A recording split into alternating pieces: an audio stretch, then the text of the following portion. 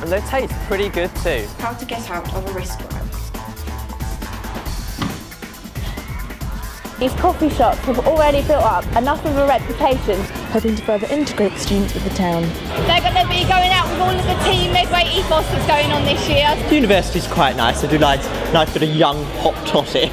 At the end of you know every couple of months, every couple of weeks, when I log my things, I can see oh I actually have developed. I've used a lot of skills and things. However, I'm a bit concerned about what this is over here. It's pointing directly at me. Well, we've been training all year for it, haven't we? It's been um, intense. Yeah, especially the girls. The girls is this is their first match.